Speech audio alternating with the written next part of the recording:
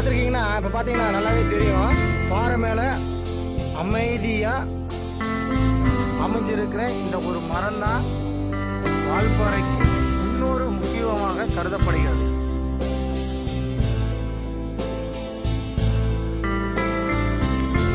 வால்பாறையில் ஒரு முக்கியமாக கருதப்படுறது பார்த்தீங்க அப்படின்னா இந்த இப்போ பார்த்துட்டு இருக்க மரம் தான் இந்த மரம் பார்த்து பேர் என்னன்னு பார்த்தீங்கன்னா அக்கா தங்கச்சி மரம்.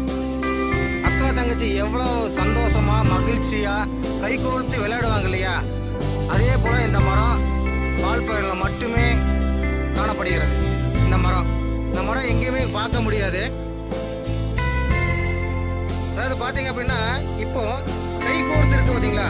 அதாவது அக்கா தங்கச்சி எந்த அளவுக்கு